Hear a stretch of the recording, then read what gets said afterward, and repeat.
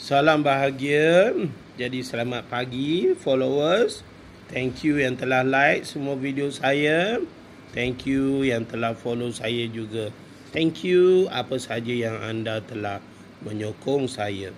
Jadi jangan lupa lima button yang ada. Bolehlah ya mendapatkan engagement dengan TikTok dengan ya melancarkan lima button itu. Tekan-tekanlah mana yang patut. All the best. Jadi untuk hari ini saya membawa tajuk keinginan. Jadi apa sebab kita perlu ada keinginan?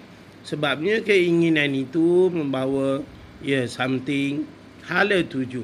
Ya, yeah, kalau nak berjaya kita mesti ingin nak berjaya. Ya, yeah, itu maksud saya. Dan keinginan untuk berjaya itu sebenarnya datang dari mana? Dari minda yang sentiasa fokus. Kalau kita tak fokus ya sesuatu perkara yang kita hendak itu, maka keinginan kita itu akan meleset. Excuse me. Jadi bila keinginan meleset, maka kejayaan tidak boleh diperolehi. Jadi saudara-saudari di luar sana, jika ingin berjaya dalam TikTok, contohnya anda mesti ikut kata-kata Sifu. Nasihat Sifu tu. Ya, anda tak boleh ikut diri sendiri. Sebab acuan sudah ada, jalan sudah ada untuk berjaya dalam TikTok, jadi hanya ikut sahaja. Ha, itu maksud saya. Beri penekanan kepada beri penekanan kepada cara untuk berjaya itu. Ya, kita tak boleh sambil lewa. Sebab bila kita sambil lewa, kita akan membazir masa. Sebab itu kejayaan sebenarnya diletakkan pada ya, satu keinginan, yang kedua fokus, yang ketiga kaedah yang betul, yang keempat istiqomah lah ya dalam kerja nak berjaya itu. Mesti rajin.